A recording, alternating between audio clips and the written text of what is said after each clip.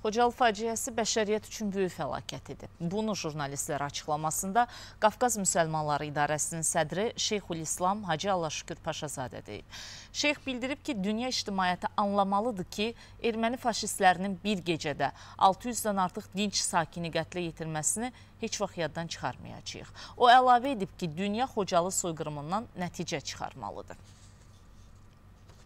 Dərimizdə Xocalı faciəsi yad edilib, namazlar qılınıb, dualar edilib və ictimaiyyətə həqiqətləri çatdırılıb və həm də imkan daxilində birlikdə müraciətimiz oldu dünya ictimaiyyətinə bir daha onların yadına salıb dünyada e, Xocalı soyqırımı dahi təkrar olmasın deyə biz dünya ictimaiyyəti buna çağırdı. Və inanıram ki, inşallah dünya ictimaiyyəti bundan dərs götürəcək və bu Xocalı faciəsi kimi hadisələr dünyada baş verməyəcək.